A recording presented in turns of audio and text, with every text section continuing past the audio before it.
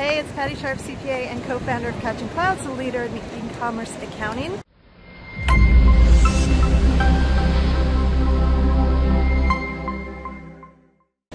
Uh, this is my first video in a while. I am in New Zealand and uh, just kind of walking along the beach and I um, ran into the most unexpected person here. Um, say hi. Hi. So uh, for those of you who don't recognize this face, maybe tell everybody who you are. I'm uh, Rod, founder of Catching, uh, oh, sorry, of Xero, and very good friends of Catching Clouds. Okay. Um, so, so there are um, some of our children behind us. Um, anyway, I thought I would ask him a few questions. So, Rod, uh, what have you been doing the last year or so?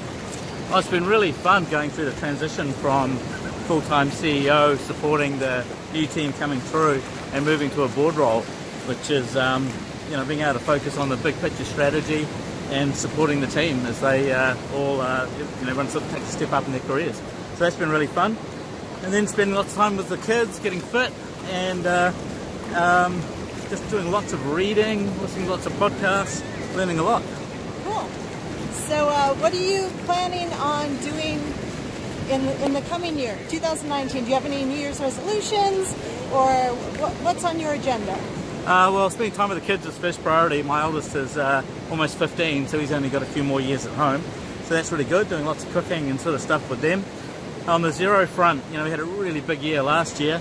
Uh, a few acquisitions, raised a lot of money, and uh, so we got some big strategic stuff. But so really looking forward to San Diego. We've got some good things to show there, and uh, just personally, yeah, keeping fit and trying to get that balance right. Great. So, uh, do you have any advice for? Let, us start with accountants. Do you have any advice for accountants? I, it's it's crazy because it still seems like it's so early. You know, we've been doing this for a long time, um, and yet, you know, you look at the industry numbers; they're still relatively small. And I think, uh, you know, we've spent 10 years building accounting in the cloud, and um, it just takes that long because it's such a big application.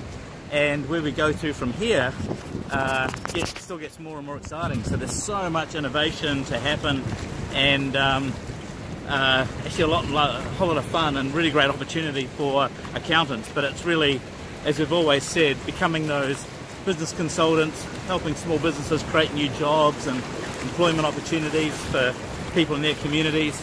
And, uh, you know, the accounting community is still the uh, ones who can really, I think, have the biggest impact on the world. Yeah. And uh, what about e-commerce sellers? That's so exciting because we're seeing everything globalizing. So small businesses are starting to think about, you know, rather than fight against the, you know, really big companies, big box retail and other businesses coming to their shores, how do they participate in these global communities? So, you know, getting, being able to sell on Amazon or Alibaba or any of these um, global marketplaces feels like the, you know, a really exciting opportunity for small businesses to export. And not just products, but services as well. It's a global community now. Yeah, yeah, I, I could not agree more. So, uh, yeah, so you're doing pretty well walking and talking. I know it's hard. Like I had to like switch hands in the middle.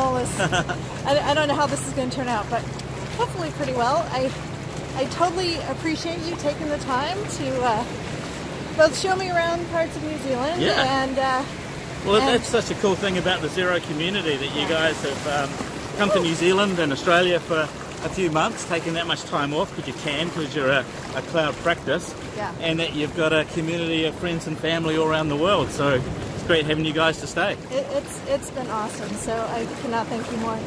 So I think that's it. Thanks. We'll see you guys next see time. everybody.